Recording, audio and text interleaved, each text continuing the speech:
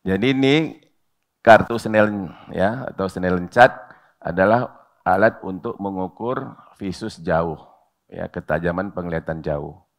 Nah, di dalam Snellen chart ini ada angka-angka mulai dari 1 sampai 10. Nah, kemudian di sini ada ya, ya duduk aja. Kemudian di sini ada angka misalnya nih, ini baris ke-8. Baris ke-8 ini di sini disebut 20 per 20. Ini dalam bentuk feet. Kalau kita konversikan ke meter jadi 6 per 6. Ya 20 feet kan 6 meter. Jadi andai kata pasien melihat pada jarak 6 meter, kemudian dia melihat pada baris ke-8, berarti visusnya 6 per 6. Artinya pasien melihat jarak 6 meter, orang normal 6 meter, berarti pasien normal. Itu dia. Ini kita anggap pasien duduk pada jarak 6 meter. Kemudian memvisus itu dari mana mulai? Sebaiknya dari bawah, baris ke-8. Tapi kalau dia bisa 9-10, berarti ini lebih bagus matanya dari normal ya. Kita mulai dari baris ke-8. Sebaiknya tidak dari atas, ya. Apalagi kalau pasien kita itu anak-anak bukan orang tua, ya. Kecuali kalau orang tua di atas 60, bolehlah dari atas. Kenapa? Karena apabila dia sudah nampak baris yang paling bawah, kita nggak perlu ke atas. Ya, oke. Okay. Kita mulai pemeriksaan, coba tutup mata kiri ini. Nah, jadi menutup mata ya dengan gini, kemudian jangan ditekan. Atau menutup mata bisa juga dengan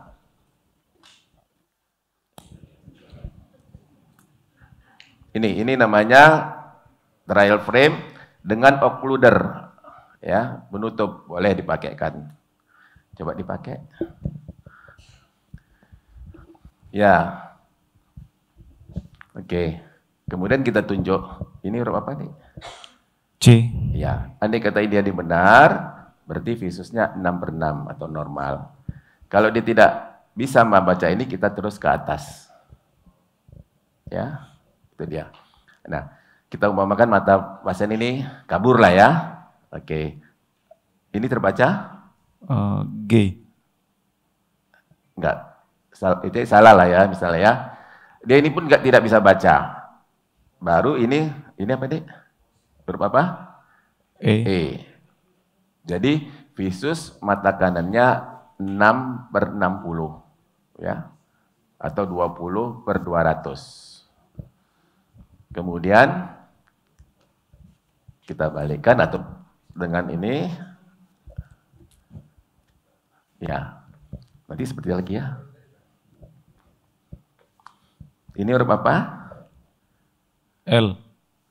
Ini? U. Ini? Nah, C. dia kan pasti nggak nampak semua. Coba, kalau ini? Coba nampak. E. Ini? P. Ya, otomatis pasien ini mata kanannya visus kanan 6 per 60. Tadi hanya nampak ini. Mata kiri 20 per 100, 20 per 100 berarti 6 per 30. Ya, artinya dia melihat jarak 6 meter, orang normal melihat jarak 30 meter. Berarti kedua pasien ini matanya kabur. Nah, kalau orang normal, ini kan hurufnya banyak ini, ada 8. Berapa huruf? Cukup 5 huruf aja disebutkan udah benar udah. Ya untuk efisiensi waktu. Oke. Nah, pakai aja dulu. Nah, setelah tadi kita tahu matanya kabur, maka kita harus lakukan pemeriksaan pinhole. Pinhole ini lubang kecil. Ya, ini ada sini ada lubang. Diameternya sekitar 2 sampai 3 mm. Nah, tadi mata kiri kita okuler kita tutup. Mata kanan kita pasang lubang kecil. Nah, pasien dengan kelainan refraksi pasti tajam penglihatannya lebih terang ketika pakai pinhole. Karena cahaya benar-benar fokus ke makularnya. Jadi tadi misalnya 6 per 60, bisa saja nanti dia dapat 6 per 24. Tuh. Kemudian begitu juga sebaliknya. Ya, begitu juga sebaliknya. Nah, kita tadi sudah tahu visus 6 per 60, pinhole jadi 6 per 24 misalnya. Mata kiri visus 6 per 30, kita pinhole jadi 6 per 18. Tadi kondisi mata pasien semuanya bagus. Berarti kita berpikir nomor satu adalah kelainan refraksi. Itu dia kompetensinya. Ya. Tapi kalau dia sudah tua, baru kita mungkin berpikir kemungkinan kedua adalah katarak. Ya, oke. Selanjutnya tadi pemeriksaan visus sudah, langsung kita koreksi. Ya, kita koreksi. Ini tadi mata kiri kita pakai occluder. Nah, kalau visusnya 6 per 60, awal koreksi itu adalah minus 2. Ini, ya. Amburadul ini. Ya, kalau dia 6 per 60, awal koreksi itu minus 2. Jangan pula dimulai dari seperempat, setengah. Ya, itu efisiensi waktunya begitu.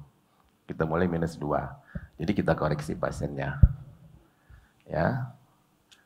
Nah, kita tanya, jadi dengan kacamata ini lebih terang atau lebih kabur? Lebih terang.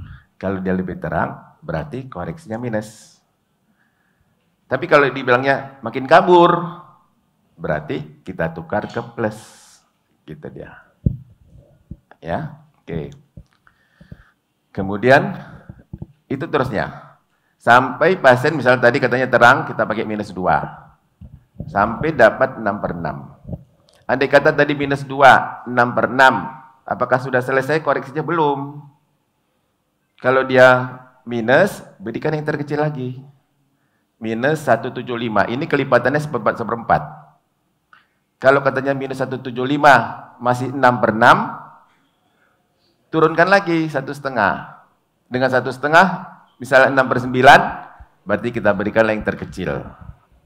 Minus 175 gitu dia ya. Kebalikannya gitu juga kalau dia positif. Nah itu pemberian uh, itu koreksi Nah, baru kita tinggal memberikan resep kacamata. Nah, kalau resep kacamata mungkin bisa dibayangkan seperti resep biasa. Kemudian tinggal kita bilang situ resep kacamata kanan atau OD atau R minus 2. L misalnya left minus satu setengah ya sudah. Pro siapa gitu aja cuma. Ya, karena kompetensi dokter umum itu adalah uh, miopia, hipermetrop, dan astigmatisme ringan.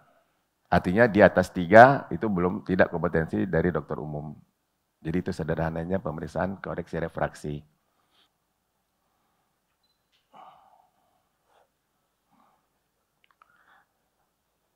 Nah jadi kalau untuk dokter umum nggak perlu resep kacamata khusus seperti di rumah sakit, ya.